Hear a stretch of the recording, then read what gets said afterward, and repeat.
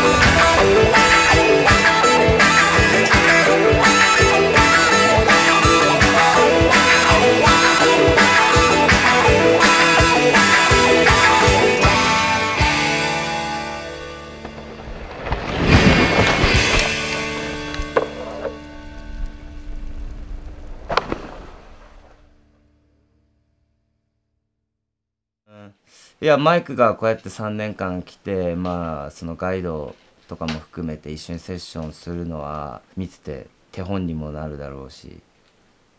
まあすごいいい刺激を受けながらマイクとはスキーをできてるからもそうだしまあなんだろうな。まあ言葉は通じないけどまあイメージしてるもんだったりするもんは結構近いものがあるからまあ一緒に滑ってて面白いっていうのが一番か Definitely been getting the most good food I've eaten in a while. Just feeling very energized every day. Probably the most delicious food I've eaten in Japan was the time that we didn't know how to read the menu and just freestyled it fully on. Not having kept in touch with the Japanese scene at all, really. And you come out here and like you see the, how good skiers are out here and getting no shine because they're on another uh, continent in the world that has not kind of not the same recognition for their athletes and shit but it's a unique experience. Lucky we got to be out here for sure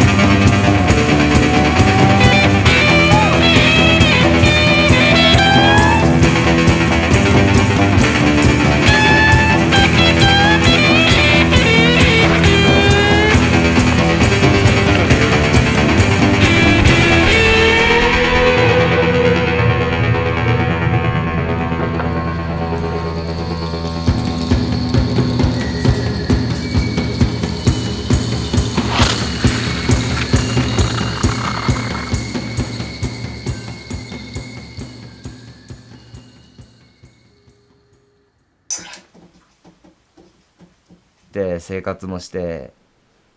まあほんとみんな、まあ、マイクに関しても君に関しても日本語も喋れないし、まあ、俺と洋平に関しても、まあ、英語はほとんど喋れないけどまあほんと通じるのが好きっていうもので、まあ、お互いなんか通じ合えてるなっていうのもあるし。